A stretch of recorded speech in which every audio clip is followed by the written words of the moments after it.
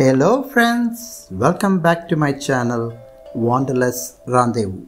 Chiang Mai is well known for its majestic temples and today I am taking you to its most famous wats. Wat Phan Tao is one of the older temples of Chiang Mai in the old walled center of the city. The first structures were likely built towards the end of the 14th century. Wat Phan Tao, meaning Temple of a Thousand Kilns, probably derives its name from the ovens used to cast Buddha images for another temple, the Wat Chedi Luang, which is immediately next to this. The Vihan of Wat Phan Tao was originally a hokam, a throne hall for one of Chiang Mai's kings, built in 1846. The Vihan is an all wooden building constructed from teak panels set on a stone base. It is one of the few remaining all wooden structures of this sort in Chiang Mai. Inside the Vihan, large red painted teak pillars support the building. Opposite the entrance is a large golden sitting Buddha, the Wat Phan Tao's principal Buddha image.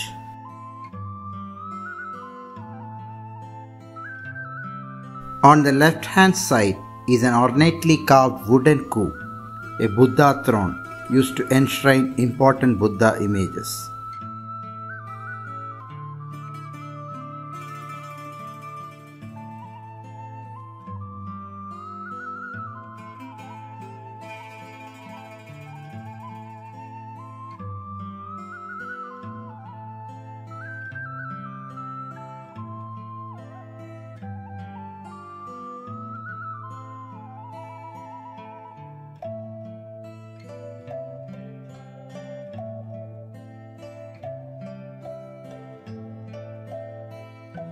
The Wat Phan Tao temple complex also houses a large chedi, a small bell tower, and the monks' private living quarters. From Wat Phan Tao, I am walking towards the iconic Wat Chedi Luang, the biggest tourist attraction in entire Chiang Mai. At the entrance to the precinct stands a delightful little temple, the Lak Muang built in 1940 on the site of an earlier wooden building.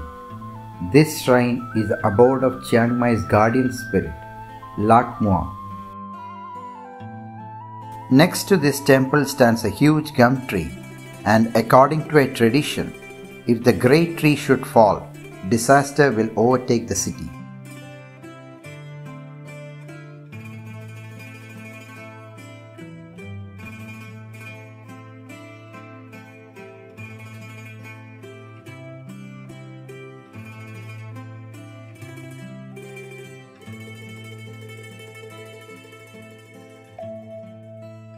This is the iconic Chedi Luang Stupa.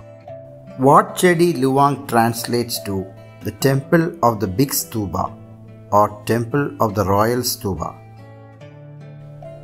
The construction of this temple started in the 14th century when King Saeng Muang Ma planned to bury the ashes of his father there.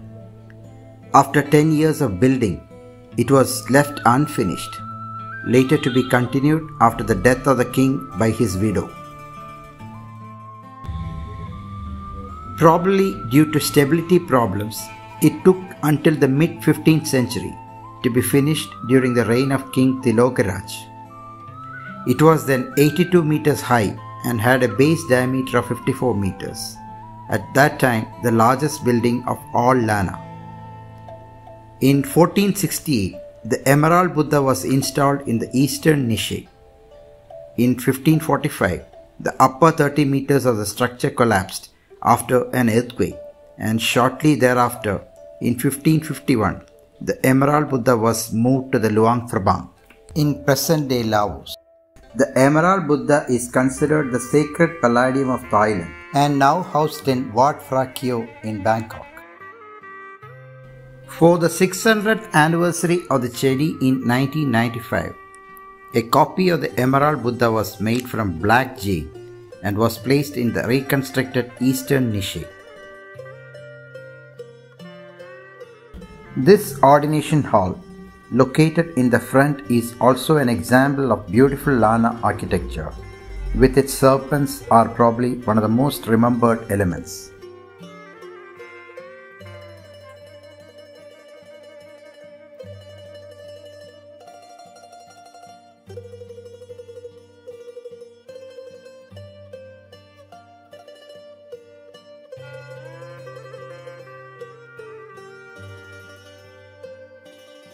This Vihan houses a Buddha statue named Phra Chavo Atar, which is cast in the late 14th century.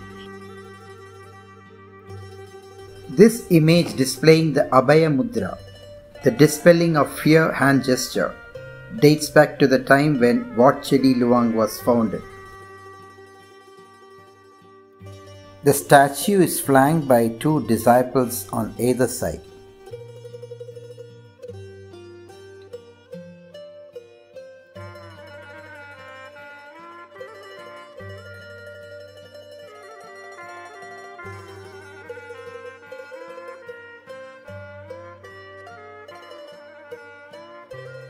The high red ceiling is supported by two rows of tall round columns.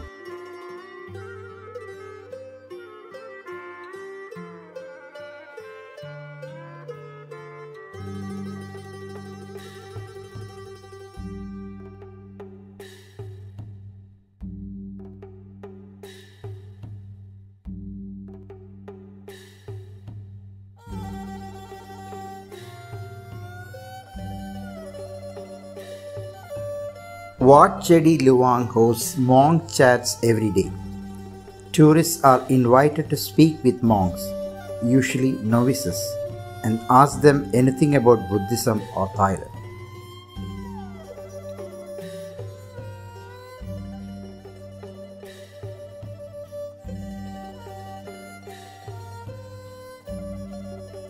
Next and the last temple I am visiting today is Wat Phra Singh. Wat Phra Singh is situated at the end of the main street Ratchadamnoen Road of Chiang Mai. The road runs east from the temple via Tha Phae Gate to the Ping River.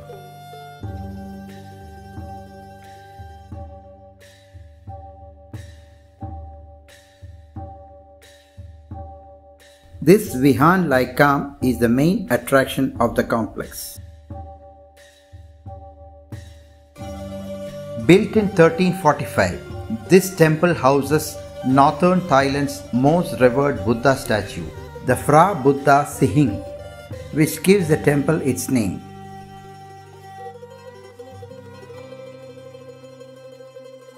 The origins of this statue are unknown, but according to legend, it was based on the lion of Shakya, a statue since lost, which used to be housed in the Mahabodhi temple of Bodh Gaya in India.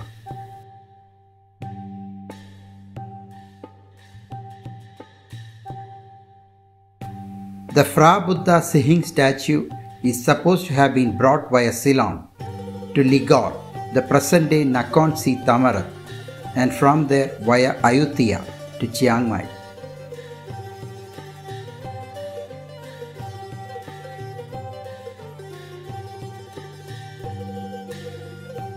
It is alleged that the head of the statue had been stolen in 1922. The possibility remains that the present statue, or maybe only the head, is a copy.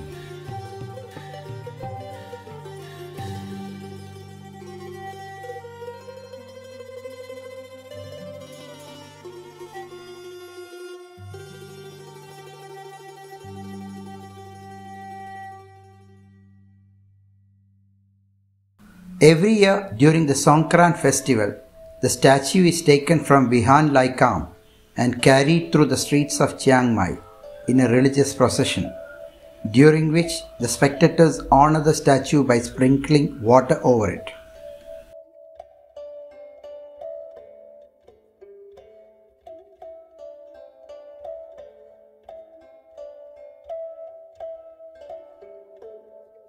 This is Hoi Trai, The temple library is another prime example of classical Lanna architecture and it is one of the most beautiful temple libraries in Thailand.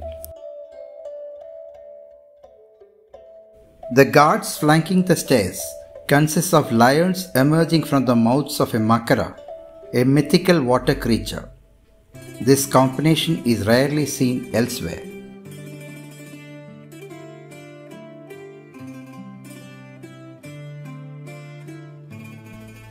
This Ubasod, built in 1806, it contains two entrances, a south entrance for monks and a north entrance for nuns.